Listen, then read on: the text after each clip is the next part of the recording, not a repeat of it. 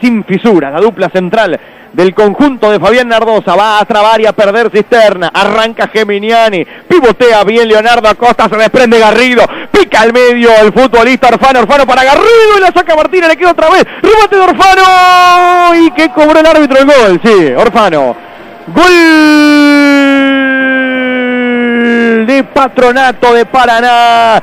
Lo hizo Esteban Orfano cuando todos los Andes pedía, creo yo, una posición adelantada del número 9 que remató, sacó Emanuel Martínez abajo del arco, pero en ese rebote quedaron todos a contrapierna y cuando decíamos que los Andes merecía algo más en este final del primer tiempo, salió rápido de contra.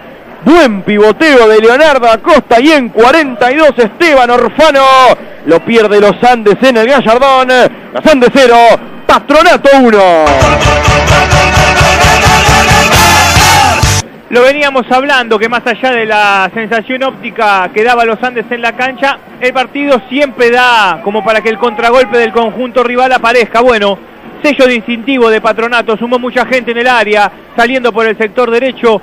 En el rebote la pelota le quedó Orfano que terminó definiendo en posición correcta. Gana sin eh, haber hecho demasiado en ataque el conjunto de Delfino, pero como se dice habitualmente, en el fútbol lo que vale son los goles, no tanto los merecimientos gana la visita en el Gallardón 1 a 0. Se muestra y se evidencia Chip Vera, pasa por el capitán del barco. Fernando Lórez pisa y se aproxima Tortu y se responsabiliza con el juego. El relámpago de fútbol pasó Olivares, se metió dentro del área, maravilla, pégale Olivares. Bertoli, Bertoli, Bertoli.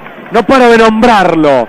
Fenomenal. Lo del arquero de patronato, señores. Tiro de esquina para los Andes de la esquina de Colombres y Frías.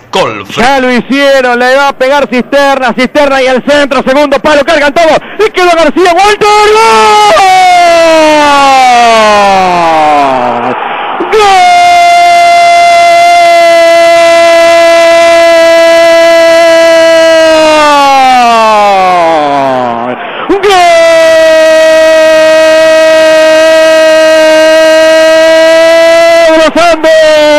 Rosita lo hizo él, el mejor jugador que ha tenido el equipo de Nardosa en el partido.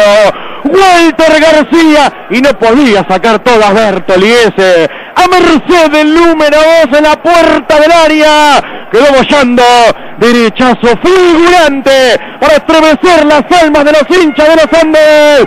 26 minutos, segundo tiempo, las cosas como tienen que estar, o por lo menos lo mínimo que merecía el equipo de la Rosa, Walter García, Los Andes 1, Patronato 1. Como en Rocky 4, ¿se acuerda la parte que el ruso le venía dando duro y parejo a Estalone? Y el Estalone de repente con un derechazo lo corta. Y en el rincón le dicen, es humano. Bueno, este Bertoli es humano, se lo puede vencer el pelotazo de Walter García en el rebote, los Andes llega a lo que mereció largamente en la tarde el empate, ojalá el equipo de Narrosa pueda dar vuelta a la historia, gana eh, en confianza y el empate 1 a 1 que ya está en el marcador. Van 43-30 y la toca Lorefice y la quiere el Chip Ibera y la tiene Diego Cisterna y estamos a 30 metros del arco. ¿Dónde lo va metiendo Walter García? ¿Dónde va picando para Ale? Tíngale Noriega, centro para Figueroa. ¡Ahí está!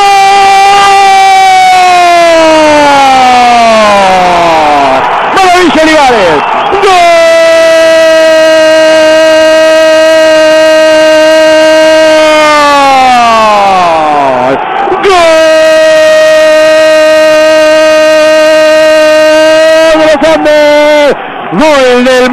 Rayita y otro que lo merecía Tarilo. Porque le dio esa cuota de fútbol, porque le da esa cuota de jerarquía al equipo. Centro de Alejandro Noriega, cabeció el aire, Diego Figueroa apareció por detrás de todo. Juan Manuel, maravilla Olivares, para decretar la victoria, para decretar algo que el equipo merecía, porque hizo mérito durante los 90 minutos este conjunto de Narbosa. Señores, otra vez la mano del entrenador, que nunca resigna de atacar, más puntero que nunca. Maravilla Olivares, los Andes 2, Patronato 1. Premio para el equipo, premio para Olivares, un Los Andes que lo dijimos en el primer tiempo, merecía el triunfo y se fue en derrota. Lo da vuelta el equipo de Narrosa en el último minuto de partido por insistir, por ser perseverante y porque ha tenido una paciencia de japonés, si se quiere el término, para poder vulnerar a una defensa que se metió atrás de primer minuto en el segundo tiempo. Habrá que aguantar estos minutos que faltan. Gana Los Andes en Loma de Zamora y por ahora el tanteador se viste de justicia. Cuatro más, 45 de 49 se viene Becerra y Los Andes ahora pone gente grande para defender. Un rival complicadísimo, le digo yo. ¿eh? Lo hace Diego Cisterna, la aguanta Figueroa, última línea, se la estirpa el futbolista Geminiani, se va al córner. 49 y termínelo, Castro. ¿Para qué vas? Lo mira el árbitro del partido, lo va a hacer corto Cisterna, la aguanta Córdoba, ganó, ganó, ganó, ganó, ganó. Ganó los Andes, señores. Ha terminado el partido aquí en el Eduardo Gallardón. Qué laborioso, pero qué ganas, qué ímpetu, qué corazón y qué fútbol tiene este equipo de la Rosa. Lo ha ganado el único puntero que tiene la primera B Nacional. Lo ha ganado el Club Atlético Los Andes.